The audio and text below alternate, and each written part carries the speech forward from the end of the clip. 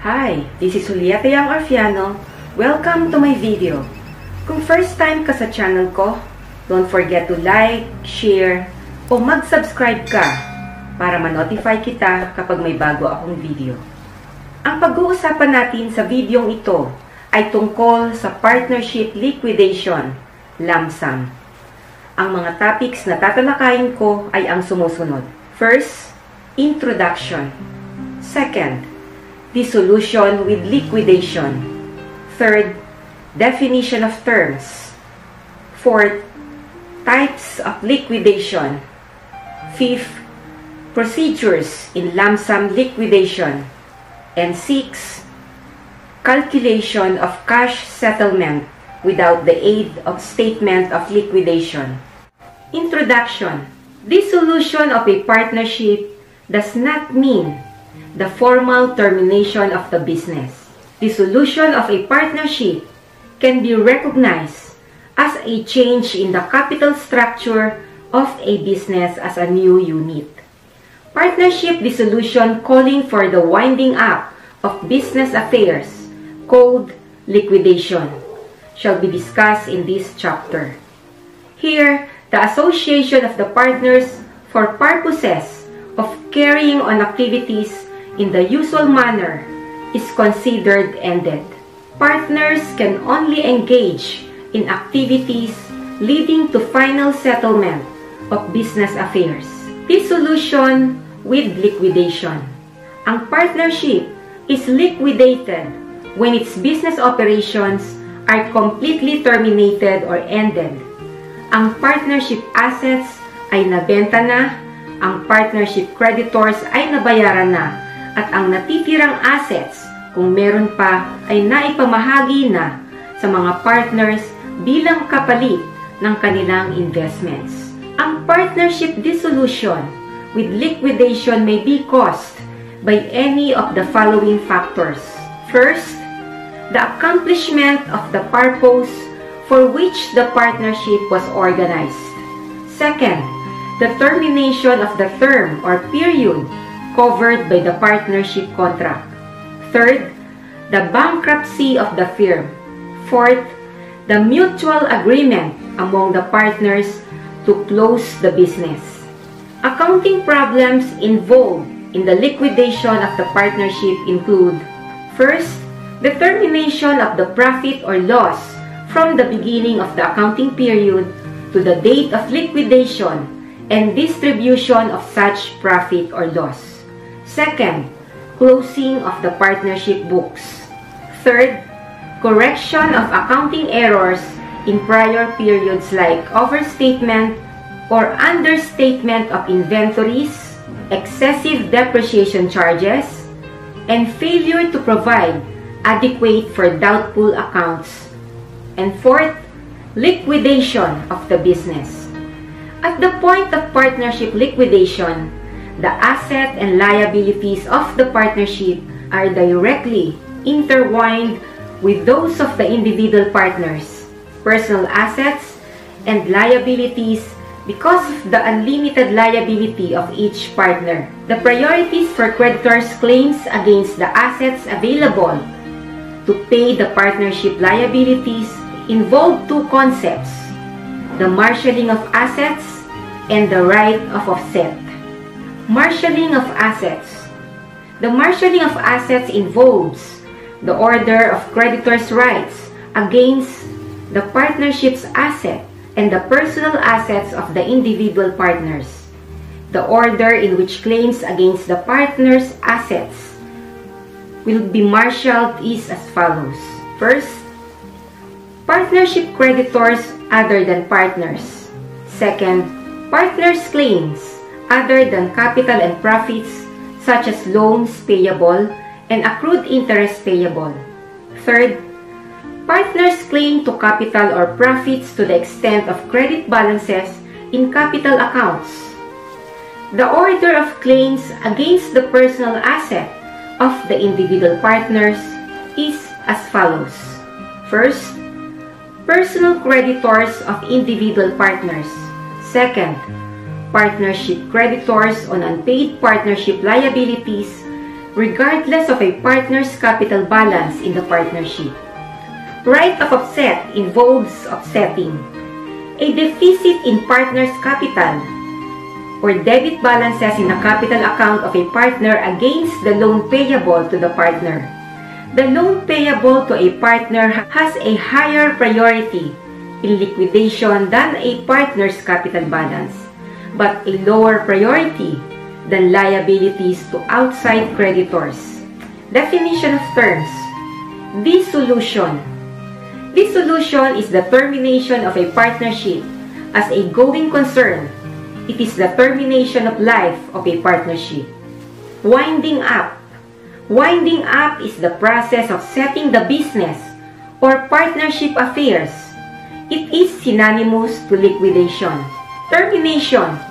Termination is the point in time when all partnership affairs are ended. Liquidation. Liquidation is the interval of time between dissolution and termination of partnership affairs. It is also the process of winding up a business, which normally consists of conversion of assets into cash payments of liabilities, and distribution of remaining cash among the partners.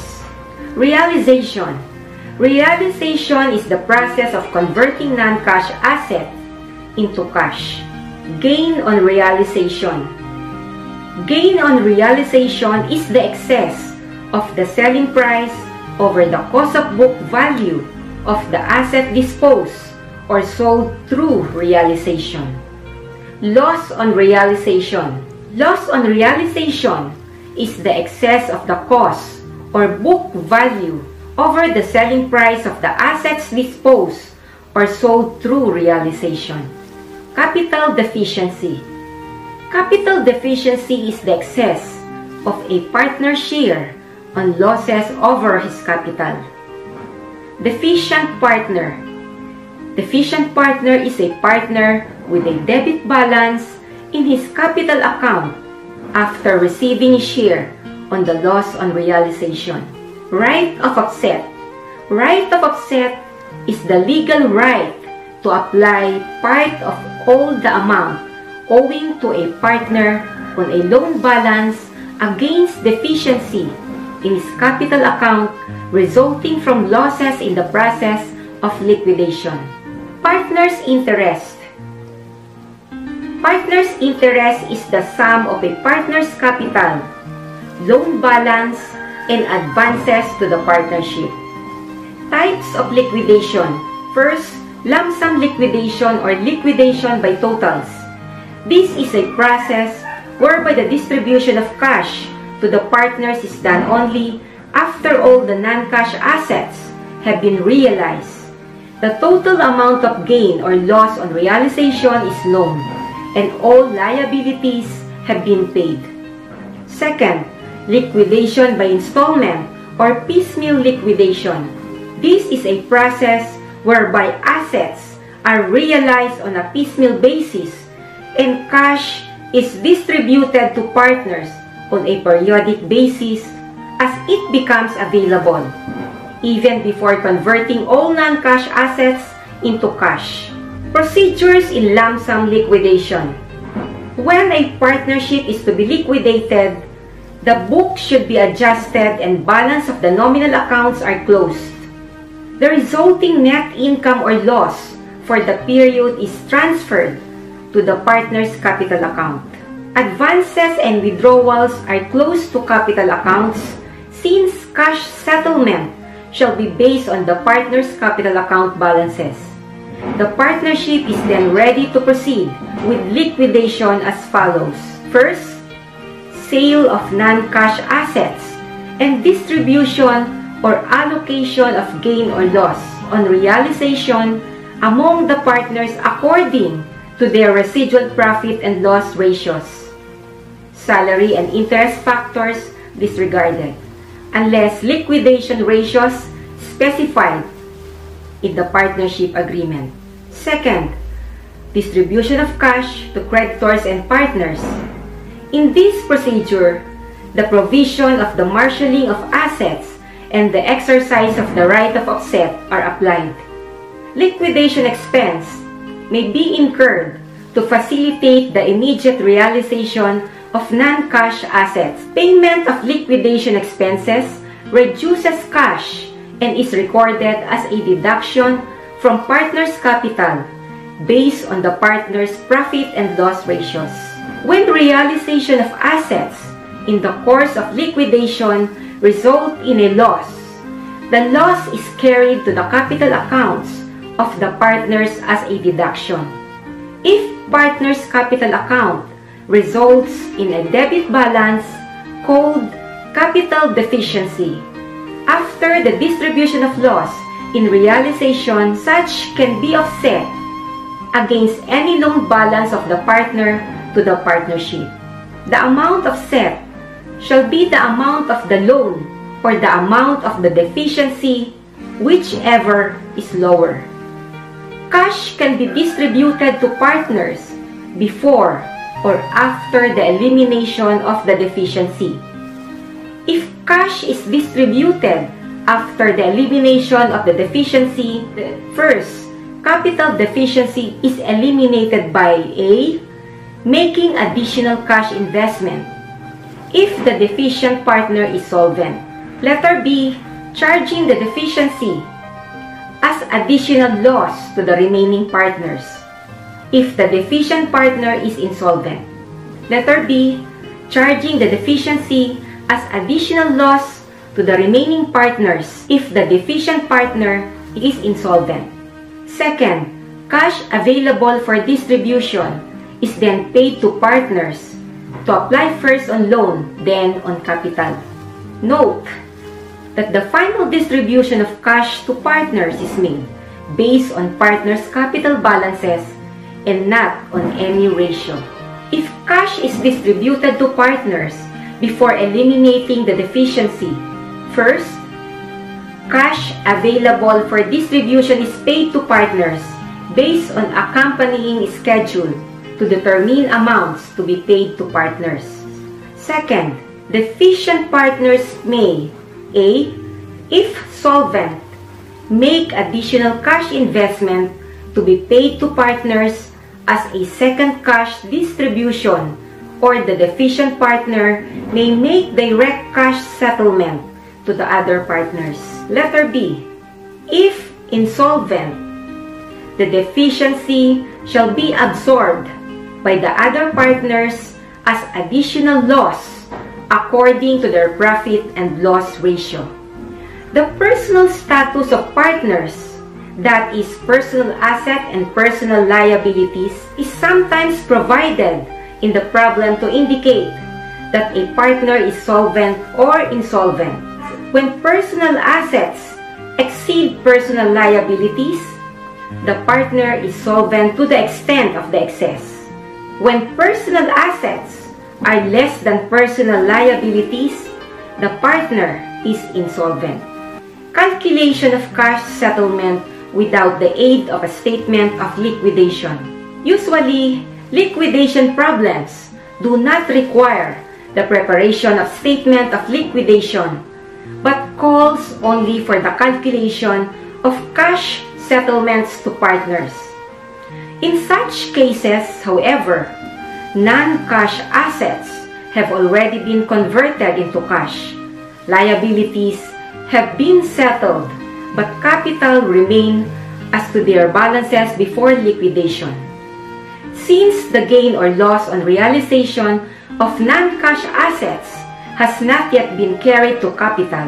Any difference, therefore, between the debits available cash to partner and total credits or loans and capitals is a gain or loss on realization that must first be carried to capital before proceeding with liquidation.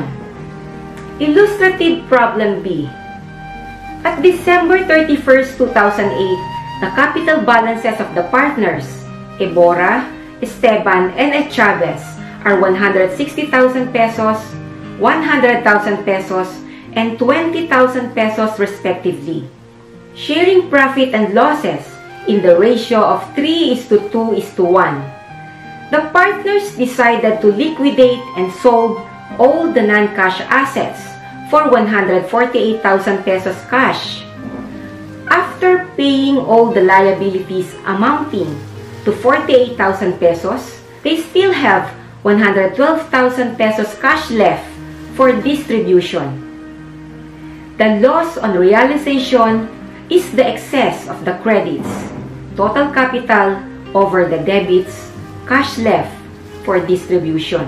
The total capital of 160,000 pesos plus 100,000 pesos plus 20,000 pesos is equals to 280,000 pesos less cash left for distribution for 112,000 pesos. Loss on realization of asset is 168,000 pesos. Cash settlement to partners is computed as follows. Capital balances before liquidation. Ebora, 160,000 pesos. Esteban, 100,000 pesos. Et Chavez, 20,000 pesos. Loss on realization shared in ratio of 3 is to 2 is to 1. Ebora, 84,000 pesos. Esteban, 56,000 pesos. Et Chavez, 28,000 pesos.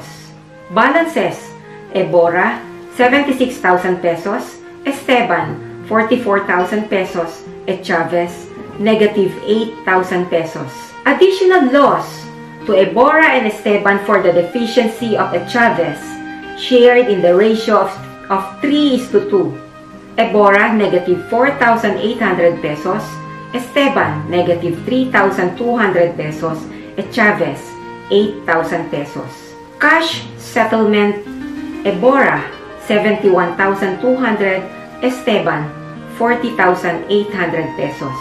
There may be instances when the cash realized from the sale of other assets is not sufficient to pay partnership liabilities.